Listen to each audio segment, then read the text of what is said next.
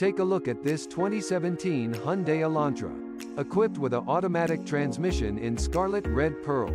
This car comes with some great features including Android Auto, child safety locks, anti-lock brakes, Apple CarPlay and more. Come in and check it out today.